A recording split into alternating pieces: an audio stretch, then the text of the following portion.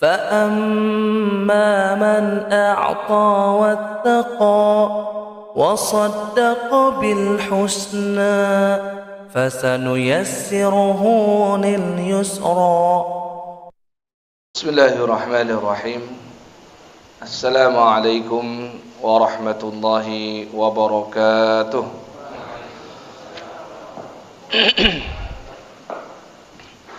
إن الحمد لله نحمده ونستعينه ونستغفره ونعوذ بالله من شرور أنفسنا ومن سيئات أعمالنا.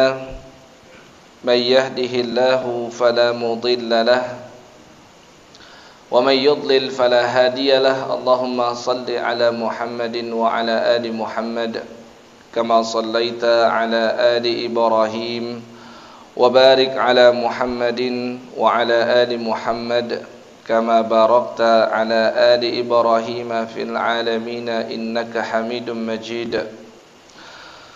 اللهم سبحانك لا علم لنا إلا ما علمتنا إنك أنت العليم الحكيم.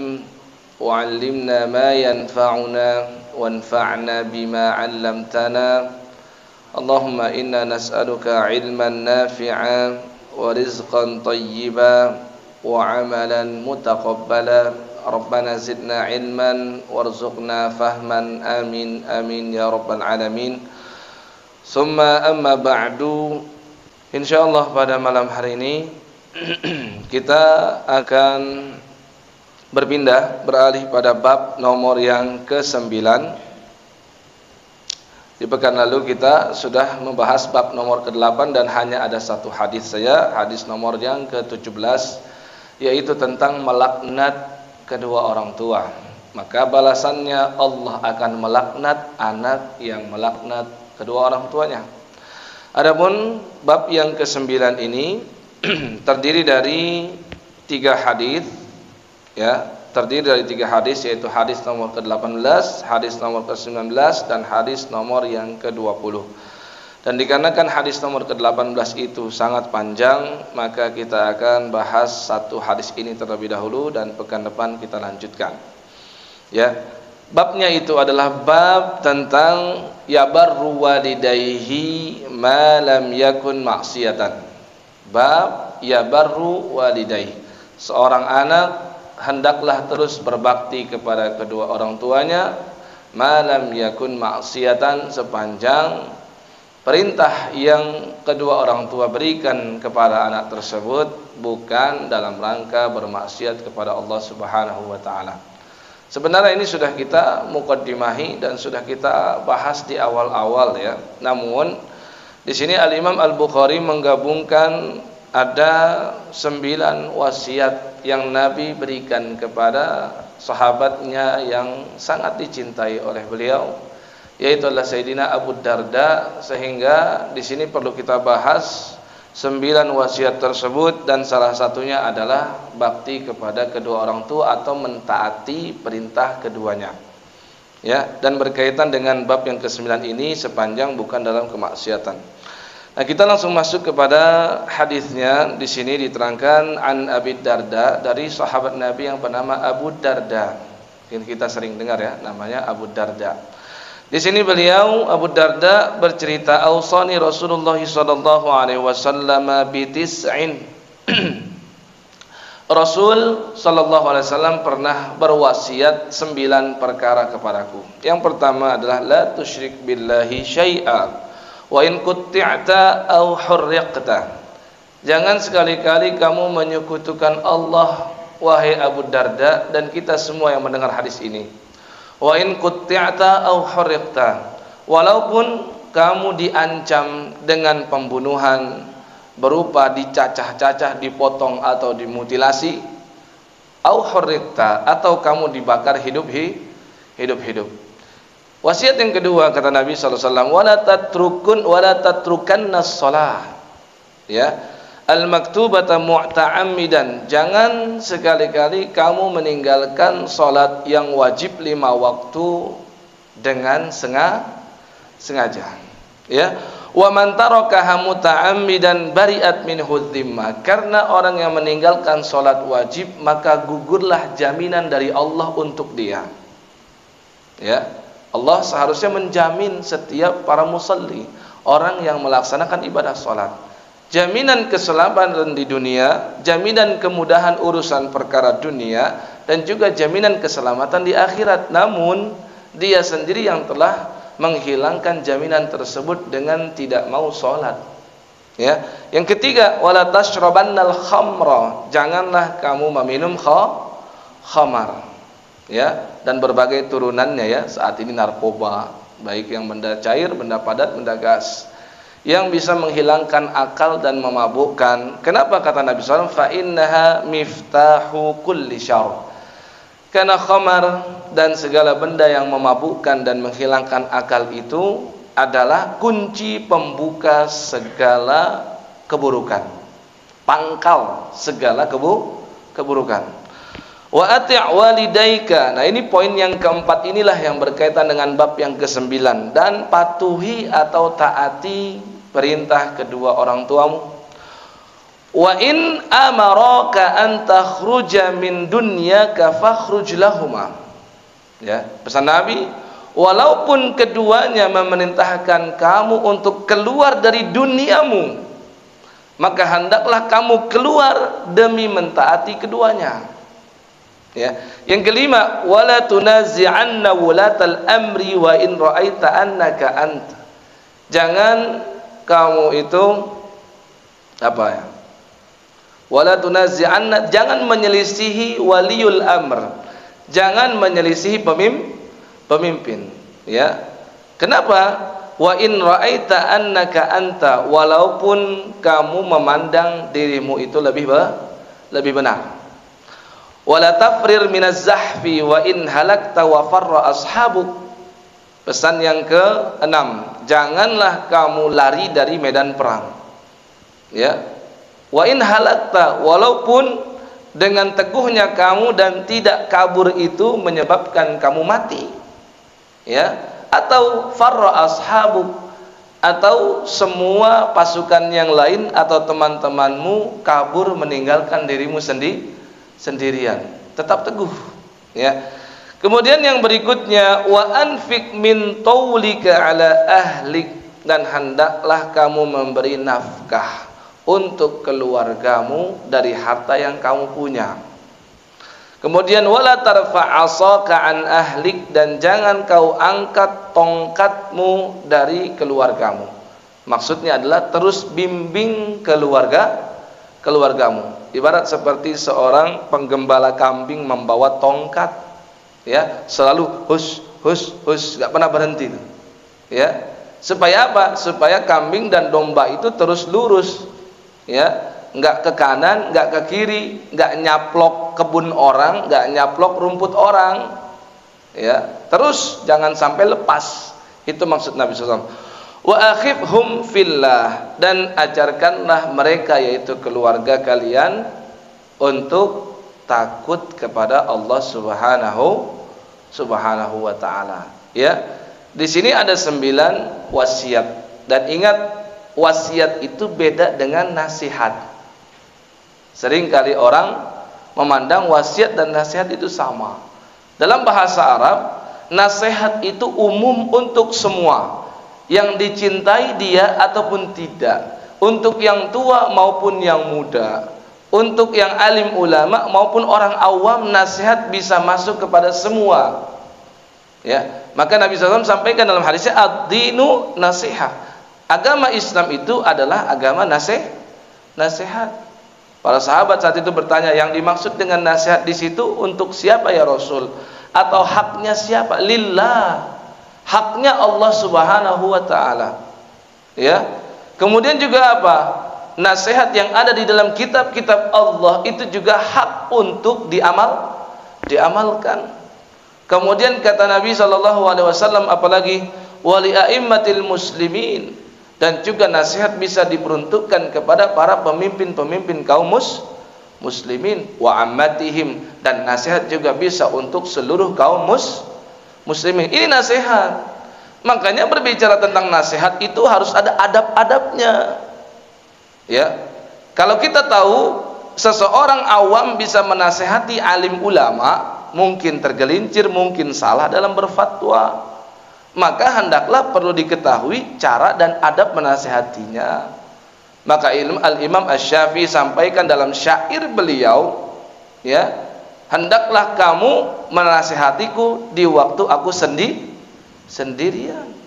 Ya, kenapa? Kalau kamu menasehatiku di depan orang banyak, itu bukan menasehati tapi mempermalukan mempermalukanku.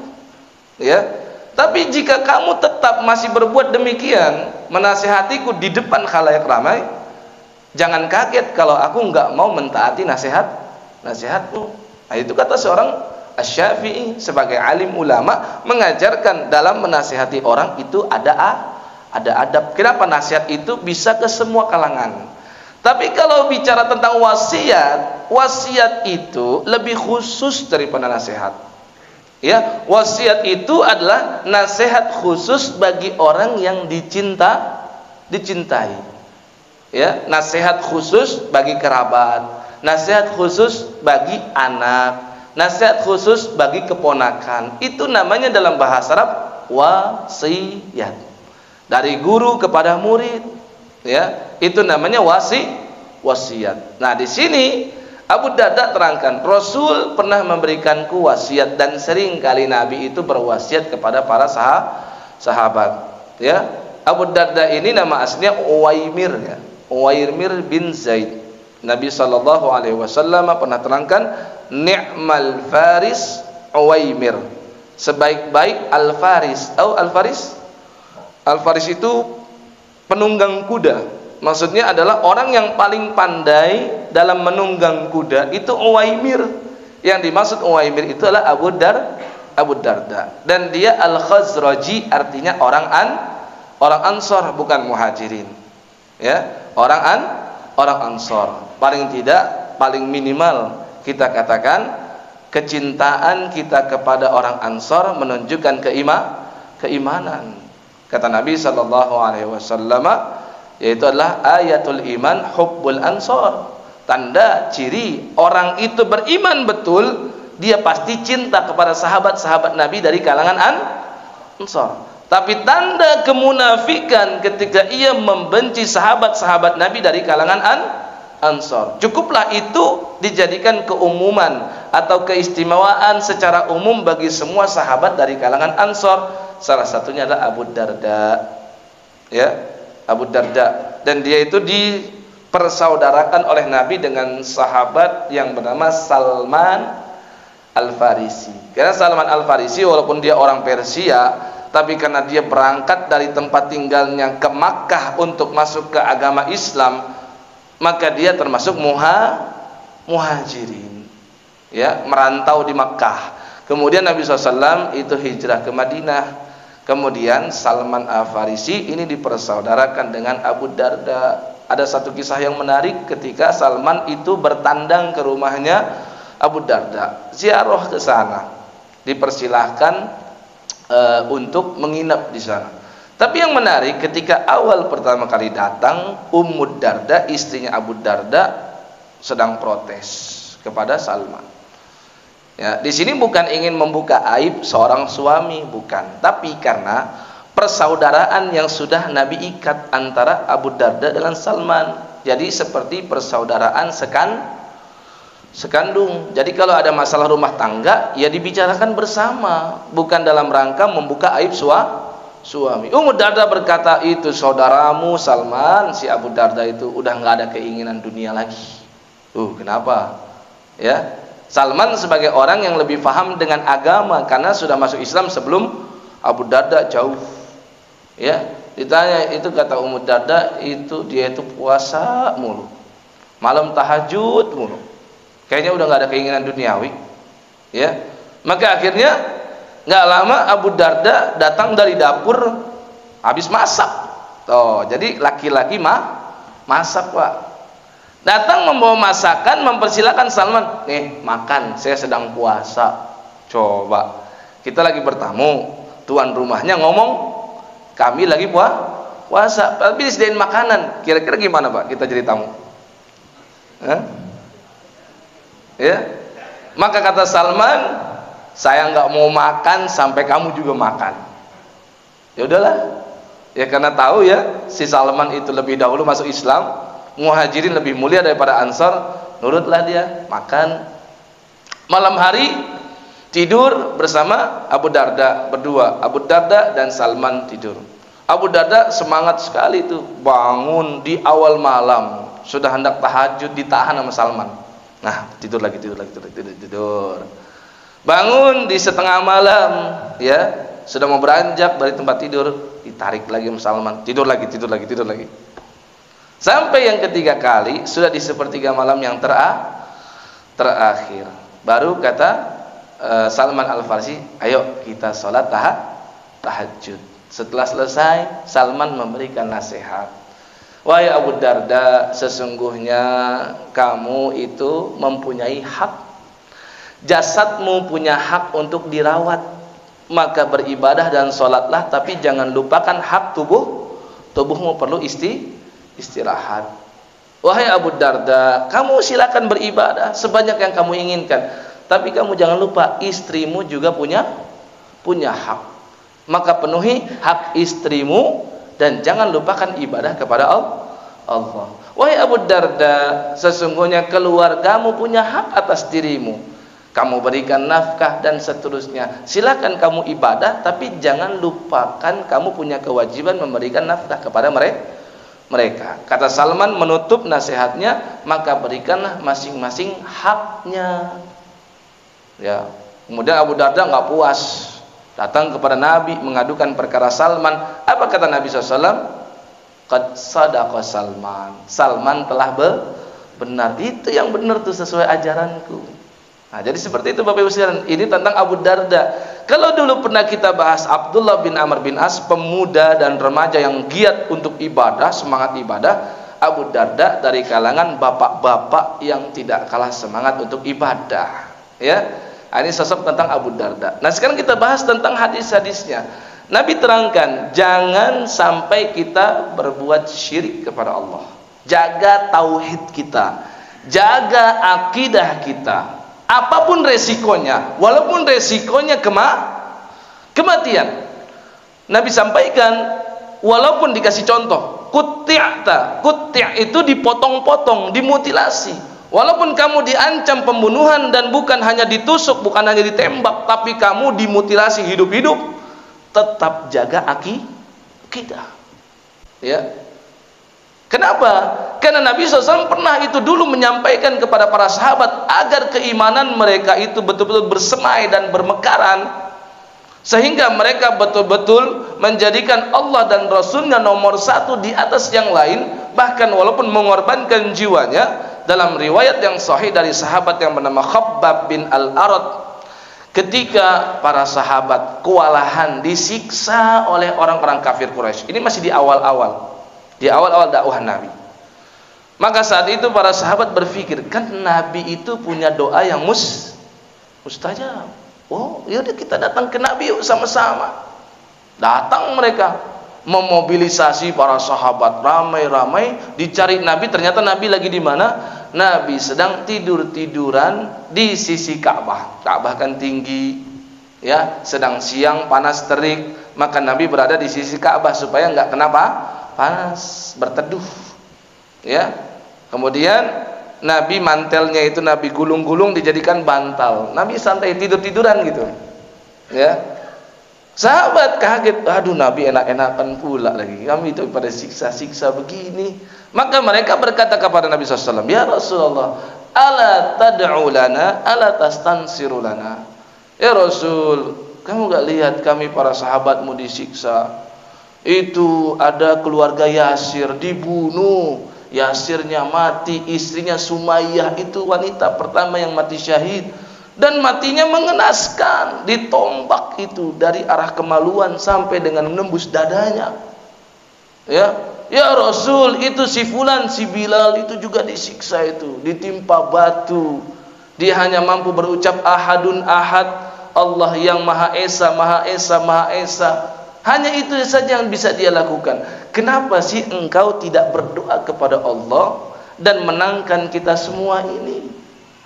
Maka Nabi SAW mengajarkan kepada para sahabatnya, kalau kayak gitu, nggak ada namanya nikmat perjuang, perjuangan. Emang enak Nabi doa tinggal dikabul, dikabulkan.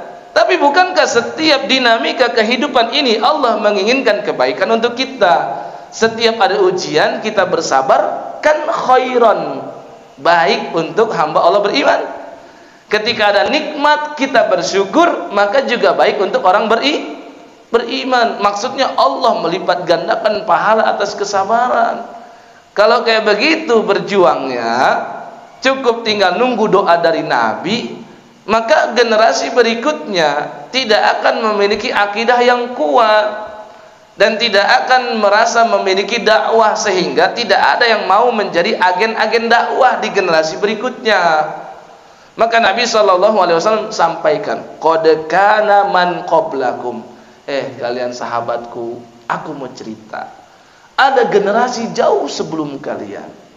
Mereka beriman kepada Allah. Mereka mengakui Allah sebagai Rob yang satu, namun mereka menjadi orang-orang minoritas di tengah kesyirikan dan kekufuran.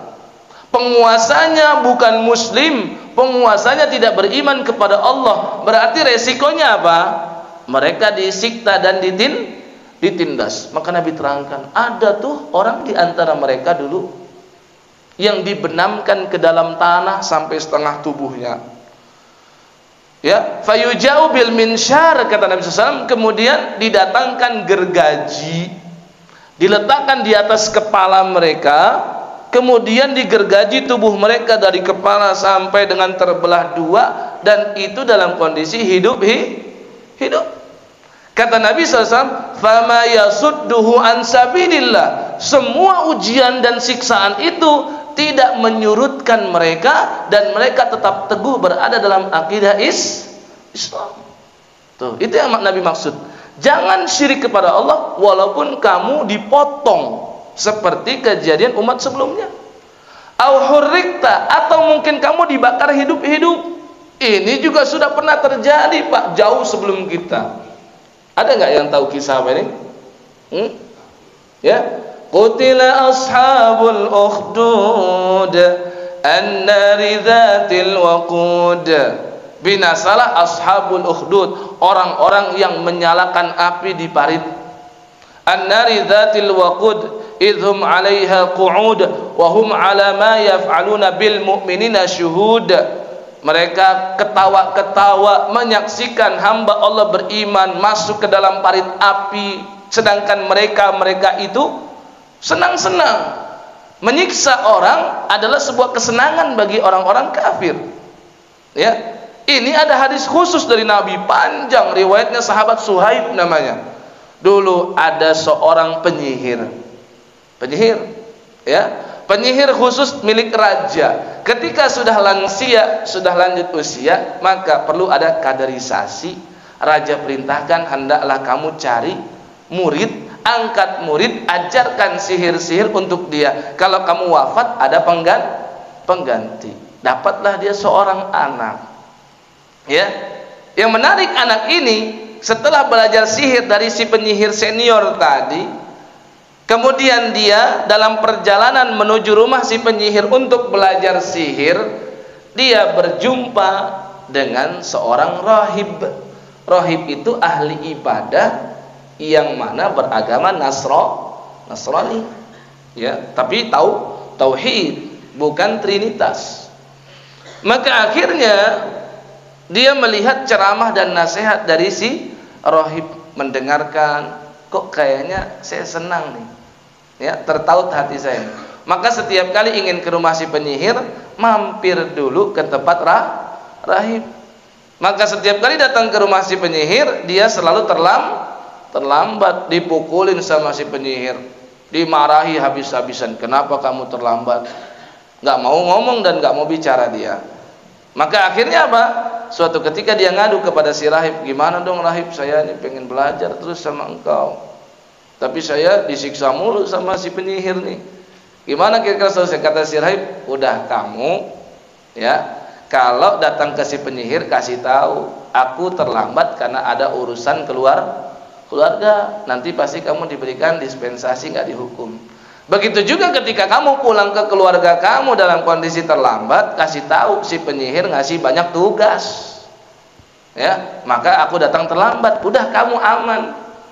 Oke sampai suatu ketika ketika dalam perjalanan menuju rumah si rahib untuk belajar ada binatang besar buas yang menutupi jalan protokol, jalan yang biasa dilalui oleh masyarakat. Dan masyarakat gak ada yang berani karena binatang yang begitu besar dan buas itu tidak diceritakan apa binatangnya. Akhirnya terinspirasi si anak tiba-tiba berpikir, oh kayaknya mulai saat ini aku jadi tahu. Kiranya ilmu yang aku dapatkan dari penyihirkah yang benar atau ilmu yang aku dapatkan dari sirah sirahib. Sekarang aku bisa tahu. Akhirnya dia ambil batu. Ya, dia berkata, "Allahumma ya Allah, in kana amrul rahib ahabbu ilaika min amri sahir." Jika perkara si rahib lebih engkau cintai daripada perkara si penyihir, maka mohon agar engkau matikan binatang ini dengan batu yang aku lemparkan. Dilempar. Apa yang terjadi? Mati binatang tersebut. Berarti kan si anak jadi tahu yang benar yang mana nih? Ilmu putih atau ilmu hitam? Ya ilmu putih yang diajarkan si rahib. Maka mulai saat itu dia konsisten komitmen terus bersama si si rahib. Tapi ketika ia sudah cerita kepada si rahib tadi perjalanan berangkat ke sana dia bertemu dengan binatang buas besar begini-gini si rahib sadar ternyata muridnya ini levelnya sudah meningkat.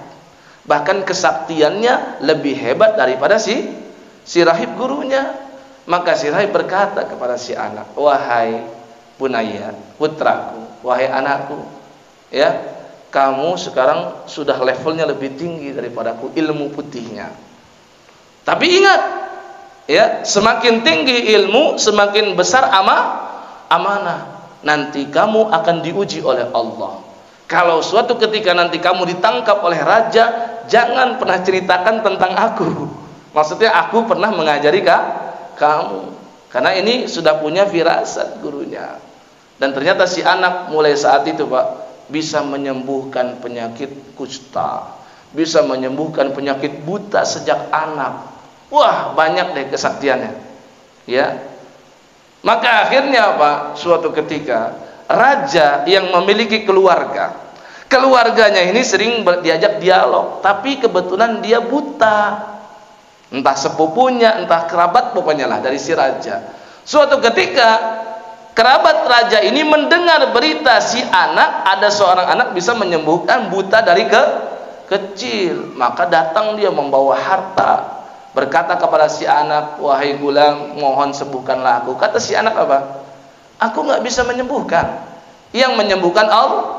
Allah. Kalau kamu mau, ya kamu beriman kepada Allah aku minta doa kepada Allah semoga Allah menyembuhkan kebutaanmu dan kamu bisa melihat lagi.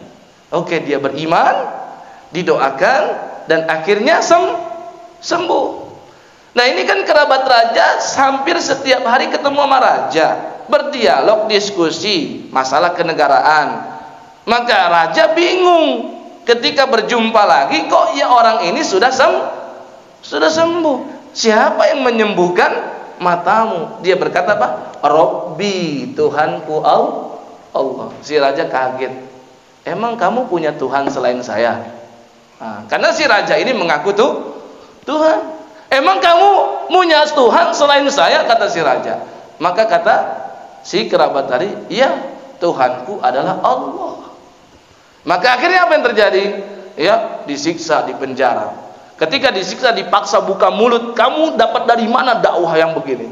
Dikasih tahu dapat dari anak kecil. Dipanggil anak itu ditangkap juga. Si anak juga diancam, kamu dapat dari mana ilmu ini? Dikasih tahulah si si rahib tadi. Akhirnya rahib juga ditang, ditangkap. Maka dua orang dibunuh oleh si raja. Si kerabatnya raja dan si rahib karena sudah dewasa. Nah si anak ini raja masih kasih kasihan. Kira-kira gimana nih cara ngebunuh si anak? Maka akhirnya si anak diperintahkan. Ya, raja memerintahkan pengawalnya untuk membawa si anak ini ke atas bukit bahkan ke atas gunung di puncak. Nanti kalau sudah sampai puncak, lemparkan itu si anak kepala di bawah, kaki di di atas. Tapi ternyata si anak berdoa, Allahumma ni Allahumma kfinihim bima. Ya Allah, aku mohon kepada engkau cukupkanlah engkau sebagai penjagaku sesuai dengan kehendakmu. Tiba-tiba gunungnya gempa dan mereka pengawal-pengawal raja yang yang jatuh ke jurang. Si anak selamat. Balik lagi ke ke raja. Kaget si raja. Waduh, sakti benar si anak. Ya, berpikir lagi si raja gimana nih cara membinasakan si anak. Akhirnya Pak perintahkan pengawalnya lagi untuk bawa si anak dengan perah, perahu dibawa ke tengah lautan. Ya, si anak berdoa lagi Allahumma nifihim ya bima syita. Tiba-tiba perahunya terjungkal mereka semua nyemplung si anak selamat balik lagi ke raja. Ya. Maka akhirnya apa? Si raja udah bingung gimana cara matiin si anak nih ya akhirnya si anak berkata kamu tidak akan bisa membunuhku kecuali dengan satu cara Caranya adalah kamu perintahkan pemanahmu yang paling ulung. Saliblah diriku di sebuah pohon dan arahkanlah anak panah itu ke bagian kepalaku dengan mengucapkan Bismillahi Rabbil Gulam. Itu mantranya. Nggak pakai itu nggak ngaruh. Tuh dicoba, nggak mati. Karena nggak pakai Bismillahi Rabbil Gulam. Dan kata si anak, kalau kamu ingin mengeksekusi aku mati, coba hadirkan semua rakyatmu. Nah ini kata Nabi SAW tadi apa? Jangan menyekutukan Allah walaupun kamu dibakar. Maka si anak rela untuk mati demi apa?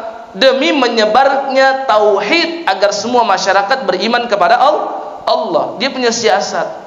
Dia rela mengorbankan satu nyawa punya dia demi apa? Seluruh rakyat beriman kepada Allah. Maka akhirnya dia disalib kemudian dipanah dengan membaca bismillah dengan menyebut nama Allah Rabbil Ghulam, Tuhannya si anak.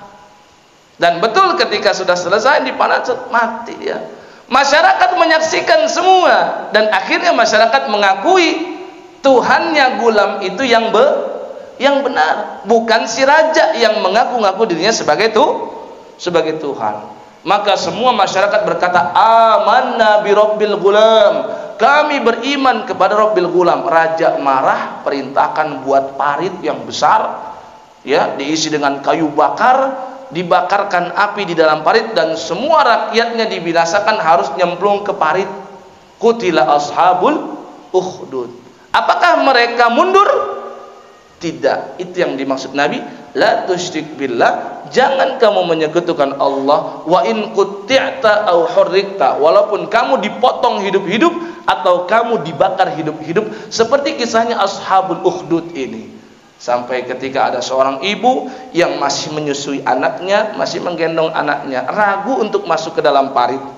Tapi si anak tiba-tiba bisa berbi berbicara ya ummah wahai ibuku ya turunlah kamu karena sesungguhnya Allah menjanjikan sur surga. Maka akhirnya turun. Semuanya binasa tapi semuanya wafat husnul khatimah. Ah, ini menarik. Ya. Poin yang kedua kata Nabi Wasallam tadi jangan tinggalkan sholat. Dan sholat itu ingat Allah Subhanahu wa taala berfirman di surah Al-Baqarah ayat 45 wasta'inu bis sabri was. Mintalah pertolongan kepada Allah dengan sabar dan sholat. Sholat itu solusi dari setiap permasalahan kehidupan kita. Maka kata Nabi yang meninggalkan sholat muta, muta'ammidan, meninggalkan sholat secara sengaja, apa efeknya? Efeknya akan bariat min zimmah. Jaminan yang sudah Allah berikan kepada dia akan Allah lepas. Sehingga apa? Urusannya nggak kelar-kelar, nggak habis-habis.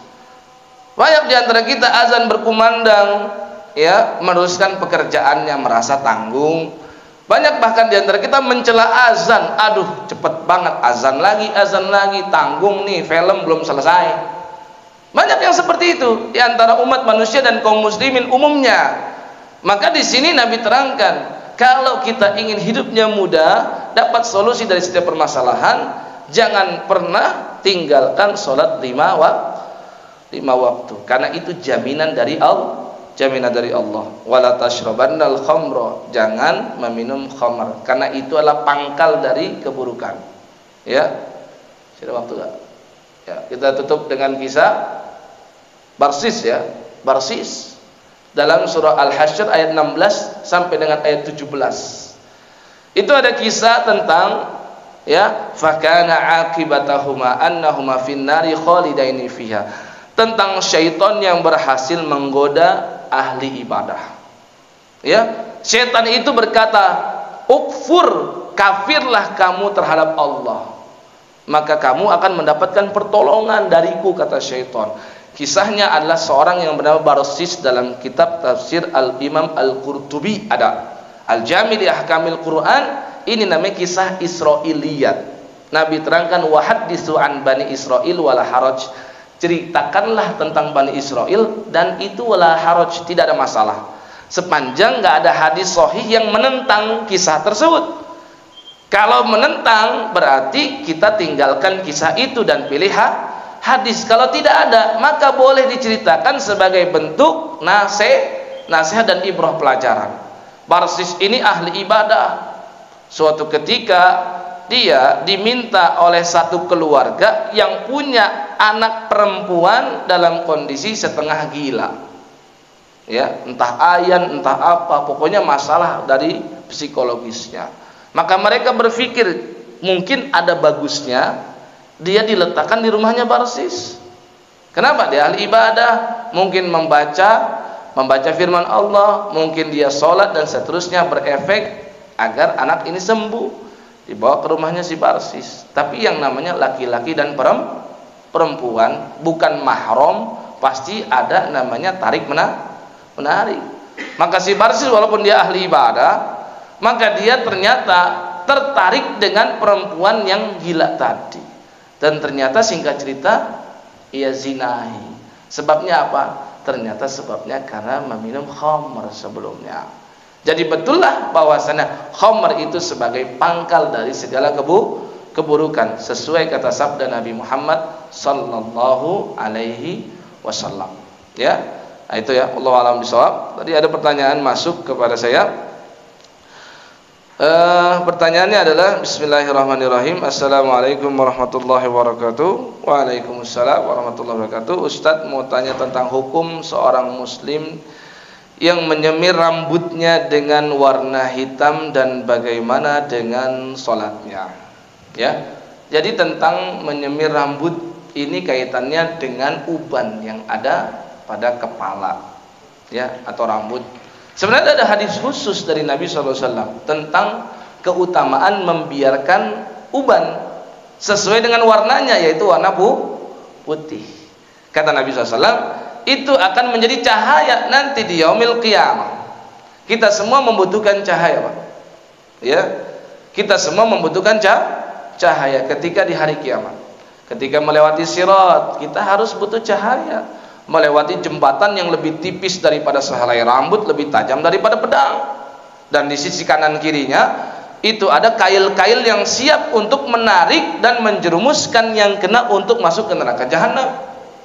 Ya, setiap kita membutuhkan cahaya. Maka kata Nabi SAW, barang siapa yang ingin berkurang cahayanya nanti di yaumil kiamah, silahkan kalau mau menyemir rambut rambutnya. Nah, jadi ada satu hadis yang paling umum keutamaan membiarkan rambut putih nanti menjadi cahaya di hari kiamat. Ini satu.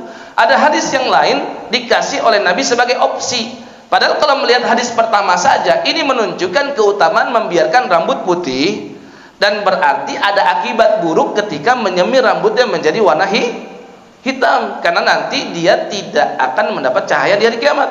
Kan itu. Tapi hadis kedua ada opsi dari Nabi. Barang siapa yang mau mengurangi cahayanya, kan ini namanya opsional. Yang ma yang mau silahkan menyemirnya. Sehingga kalau dua hadis ini digabungkan menyebabkan para ulama berbeda pendapat. Yang satu mengharamkan melihat pada keumuman hadis pertama yang satu sekedar memakruh memakruhkan. Kenapa makruh? karena tadi ada opsional dari Nabi. Perkara yang ada pilihan tandanya bukan ha haram. Karena kalau sudah haram itu innal halala bayyinun wa innal harama bayyinun. Tapi tetap lebih utama membiar membiarkan. Itu lebih utama. Ya. Nanti kalau masalah janggut ini ada lagi keistimewaan. Lebih istimewa daripada ram rambut.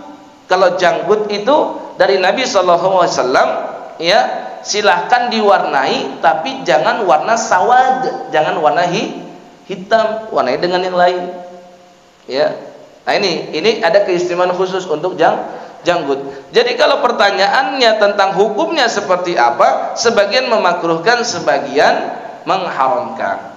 Kalau hamba Allah yang beriman, wa irdih. Barang siapa yang terjerumus atau barang siapa yang menjaga dirinya dari yang syubhat. Syubhat itu kan masih abu-abu. Ulama kasih tahu ini haram, tapi ulama lain kasih tahu mak makruh. Kan ini meragukan maka kalau kita ambil yang mana yang kehati-hatian maka hal itu bisa menjaga agama dan kehormatan kita ya karena makanya dari hadis ini para ulama menerangkan al khuruju anil khilaf mustahab keluar dari perkara khilafiyah itu lebih baik lebih baik ya contoh lain supaya lebih mudah kita memahami ada yang tahu tentang isbal ya menjulurkan celana, sarung, gamis atau bagian pakaian bawah melebihi mata kaki, mata kaki. Itu mirip dengan ini. Ada satu hadis yang sangat umum. Allah nggak mau melihat dia. Allah nggak mau berdialog dengan dia dan Allah nggak akan memikirkan dia nanti di hari kiamat. Yaitu salah satunya musbil orang yang is isbal. Ini umum.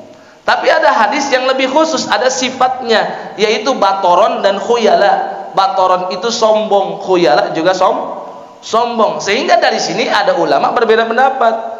Ada yang membolehkan, ingat bukan menganjurkan ya, mem beda ya, boleh dengan anjuran. Membolehkan isbal ketika tidak som sombong. Tapi semuanya sepakat kalau isbalnya sombong yaitu ha haram. Nah, yang dimaksud dengan al-khuruj anil khilaf itu mustahab, keluar dari masalah khilaf itu lebih dianjurkan dan lebih utama, berarti maksudnya ya kita lebih baik angkat saja itu di atas mata kaki. Kenapa? Kalau nanti terbukti di akhirat ternyata memang haram, kita salah selamat.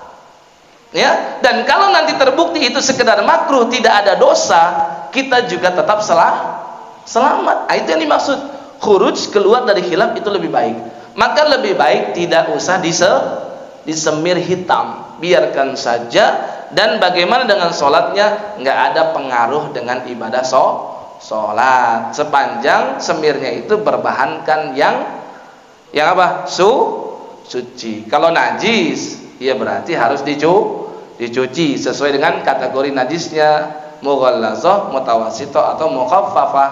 Dan sudah kita terangkan cara menanganinya.